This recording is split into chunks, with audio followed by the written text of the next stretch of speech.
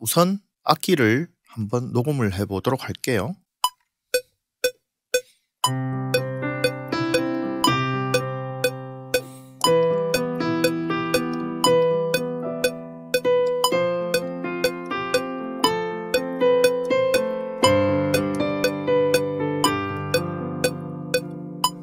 자, 이 정도까지만 할게요.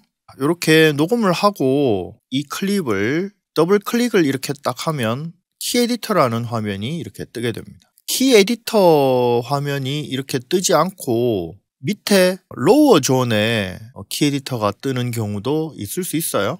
Cubase를 처음 설치를 하고 어, 아무것도 설정을 하지 않은 상태로 더블 클릭을 하면 그렇게 될 겁니다. 근데 이제 그렇게 작업하는 것이 더 편한 사람들도 있을 것이고 저처럼 editing 할 때는 따로 이렇게 화면이 뜨는 게 편한 사람도 있을 수 있죠. 그래서 요걸 할 때는 자 여기 edit 메뉴에서 맨 밑에 내려가시면 preference라는 메뉴를 꺼냅니다. preference에 가시면 editing 있고 밑에 쭉 내려가시면 editors라고 있습니다. editors. editors에 가면 뭐 이렇게 체크돼 있고요. Use Drum Editor when Drum Map is assigned 이렇게 돼 있고 Open Key Editor. 그 다음에 Editors Content Follow Event Selection. event selection에 따라서 event content를 뭐 보여준다. 그 밑에 보시면 double click open editors in a window 뭐 이렇게 돼 있는 게 있는데요. 요거를 클릭을 하시고 기본적으로 더블 클릭했을 때 editor를 어디에다가 열 것인가 lower zone에 열 것이다 라고 지금 체크가 되어 있을 거예요 요거를 in a window 어, 새로운 어떤 한 창에다가 열어라고 이렇게 체크를 in a window로 체크를 해주시면 됩니다. 그렇게 하고 OK를 눌러주면 자 이렇게 더블 클릭을 하면 이렇게 key editor 화면이 뜨게 됩니다. 물론 오디오 녹음 파일일 경우에는 더블 클릭을 하면 오디오 파일이 이렇게 audio editor가 뜨게 될 거고요. 자, 요거는 key editor라고 해서 미디 이벤트들을 editing할 수 있는 화면입니다.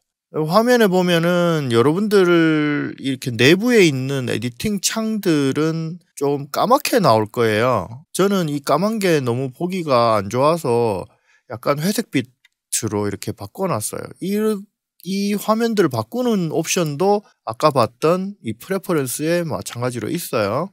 preference의 요 밑에 쭉 내려가시면 user interface라는 게 있어요. user interface UI.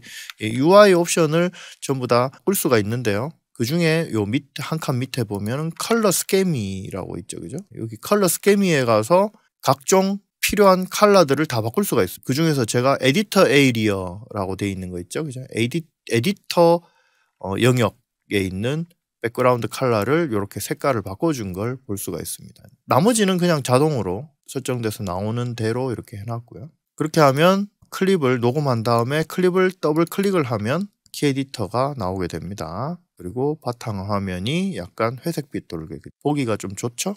자, 이제 우리는 악보를 볼 수 있는 것에서 좀 더 벗어나서 키 에디터에 있는 이름이 큐베이스에서는 키 에디터라고 하고 또 다른 프로그램에서는 다르게 불러요. 그 명칭들은 다를 수 있는데 세로 줄이 음 높이를 나타내고 네. 그리고 가로가 길이를 나타내는 이런 식으로 나타내는 표현 방법에 익숙해져야 될 거예요 아마. 이걸 한번 재생을 해보면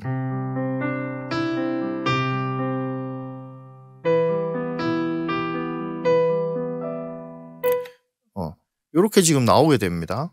가로가 길이라는 걸 알 수가 있죠. 자, 요 위에 있는 게 마디잖아요. 그죠? 네, 한 마디씩 이렇게 지나가고 있는 동안 한 박 안에 이러한 어, 데이터들이 지금 연주가 되고 있는 걸 볼 수가 있습니다.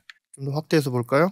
이렇게 마디 단위로 굵은 선이 이렇게 세로로 지나가고 있고 조금 덜 굵은 선이 박 단위로 이렇게 지나가고 있고요. 그 사이에 좀 더 연한 세로선이 지나가고 있죠. 이렇게 16분음표 예, 단위로 나눠져 있다는 걸 볼 수가 있습니다. 그래서 요 한 칸이 16분음표라는 걸 알 수가 있고 이렇게 네 칸 단위로 한 박이라는 것도 알 수가 있겠죠. 음 길이와 음이 시작되는 위치들에 대한 것은 요 그래프를 보면서 잘 읽을 수 있도록 자꾸 익숙해져야 되겠습니다.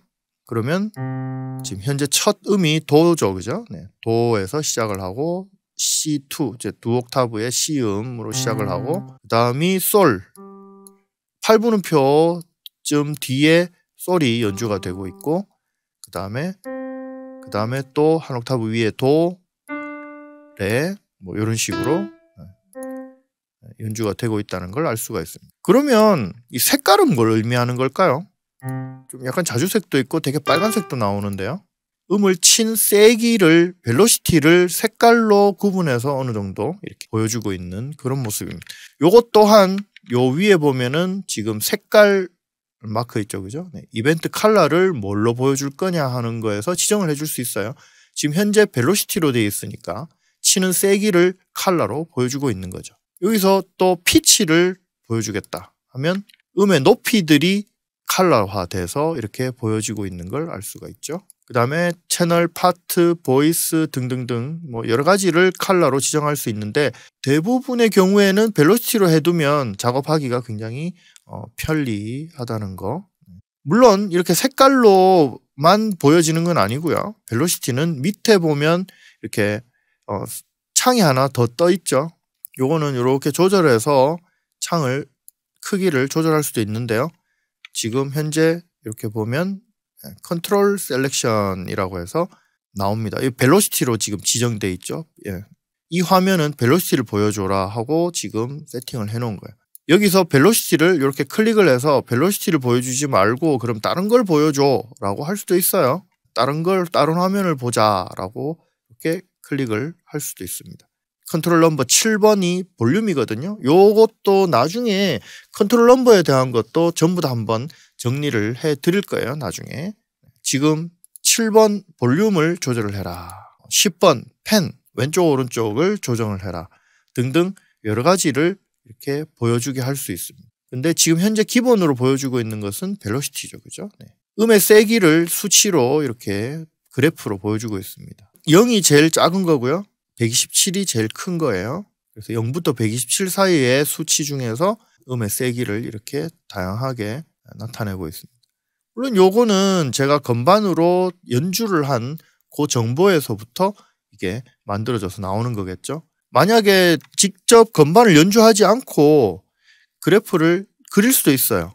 여기다가. 자, 어떻게 그리느냐 하면 요 위에 보면 toolbar가 또 있죠. 우리 지난 시간에 봤던 toolbar 같은 toolbar가 또 있습니다. key editor 안에 있는 toolbar예요. 요것도 단축키는 동일하게 되어 있습니다. selection은 1. 그 다음에 2번은 지금 여기 존재하지 않고요. 3번이 split. 그 다음에 4번이 glue. 붙이는 거죠. 그 다음에 5번이 erase. 6번이 줌. 7번이 mute. 7번이 mute. 8번이 draw. 이 중에서 우리가 draw 연필 모양으로 돼 있는 draw가 바로 옆에 있습니다. 그죠? 8번을 누른 다음에 여기서 그려주면 돼요. 이런 식으로. 음 높이와 길이를 이렇게 선택해서 그려주면 됩니다. 음 높이와 음 길이는 선택을 할 수가 있는데 음의 세기는 선택을 할 수가 없단 말이에요. 다시 한번 볼까요? 이걸 지우고요. 뒤에 가서 그려볼게요.